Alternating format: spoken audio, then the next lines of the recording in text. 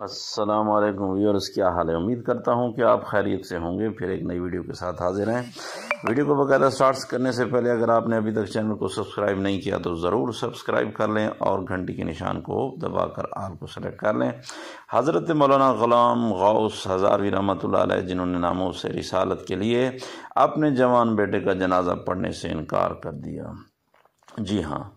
आपका बेटा आज शाम तक का मेहमान है, उसका कोई इलाज नहीं। डॉक्टर के ये अल्फाज सुनकर मौलाना रो पड़े। अपने बेटे को घर ले आए, घर में खड़े अपने बेटे की तीमारदारी कर ही रहे थे कि दरवाज़े पर दस्तक हुई। मौलाना दरवाजे पर गए, बाहर एक बूढ़े शख्स को खड़े पाया। हज़रत ने सलाम और दुआ के बाद पूछा, बाबा जी, खैरियत से आए हो? वो कहने लगा, खैरियत से कहाँ आया हूँ? हमारे इलाके में एक आदियानी मुबल आया हुआ है। वो लोगों को गुमराह कर रहा है। उम्मत गुमराह हो रही है और आप घर में खड़े हैं। मौलाना ने जैसे ही ये बात सुनी, आपकी आँखों से आँसू बह पड़े। बीवी से फरमाया कि, बीवी, मेरा बैग कहाँ है?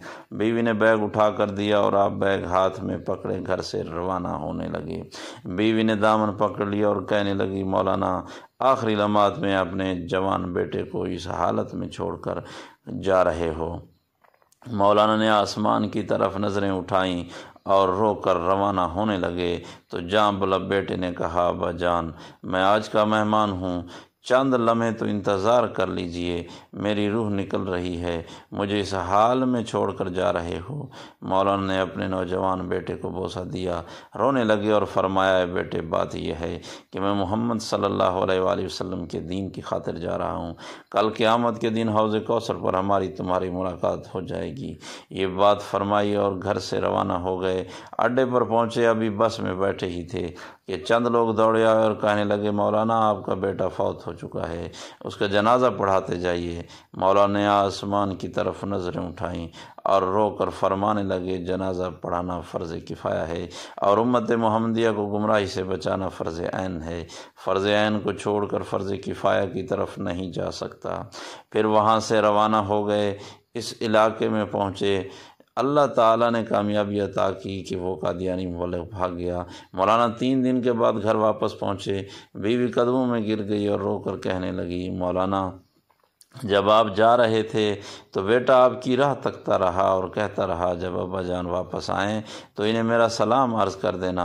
मौलाना ने जब ये सुना तो फ़ौर अपने बेटे की कब्र पर गए और दुआ मांगने लगे कि आए अल्लाह जल ख़त्म नबूत सल्ला वसल्लम के वसीले से मेरे बेटे की कब्र को जन्नत का बाग बना दे। मौलाना दुआ मांग कर घर वापस आए तो रात बेटे को ख्वाब में देखा।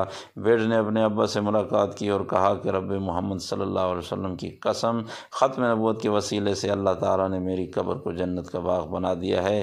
ख़त्म नबूत के इस मुजाहिद को दुनिया हज़रत ग़ुलाम गौस हज़ारवी रहमत के नाम से जानती है और ऐसे थे ख़त्म नबूत अलैहि वसल्लम के मुजाहिद अज़ीम जिन्होंने नामों से रिसालत की खातिर अपना सब कुछ कुर्बान कर दिया था। जी हाँ इन्होंने सब कुछ कुर्बान कर दिया था।